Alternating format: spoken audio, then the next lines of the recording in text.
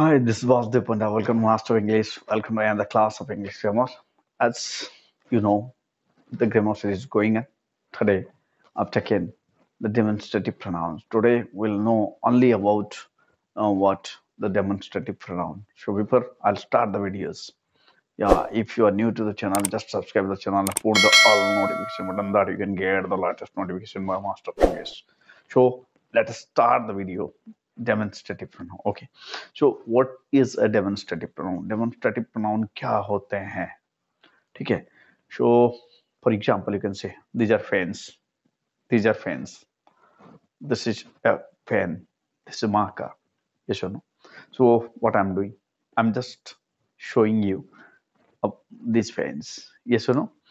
I'm just you know demonstrating these fans. That means i'm telling this is a pen these are fans. The uh, you know this is my book. These are my pens. These are my pencils. These are my assets. You can say. So this, that, these, those, and such.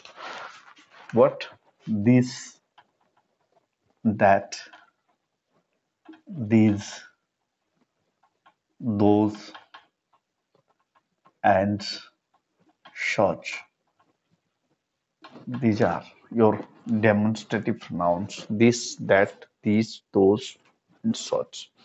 There is a little twist. छोटा सा twist है इसमें ठीक है let me clear so what is the twist don't be confused with demonstrative pronoun and demonstrative adjective remember this so as you can say uh, these these are my pens these are my pens look at the example. What happens here? I've taken these and i used these as dummy subject. Yes or no? So this is used as subject.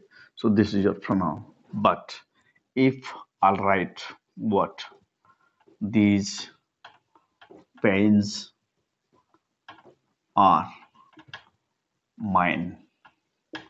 These pens are mine if i write what happens. I'm using these in the noun phrase and this is your noun. Before noun i'm using this that means this is written to tell about the noun. And as we know if any word that describe a noun that tells us more about a noun is called an adjective so you're correct. So yeah in this case this will be what? Demonstrative adjective. So don't be confused. If the noun or if these that these those and such are used only before the verb they are your demonstrative pronoun if they are used before noun in the noun phrase they are considered as your demonstrative adjective. That's all isn't it very easy? So for such type of videos. Just join master Let's just subscribe to the channel.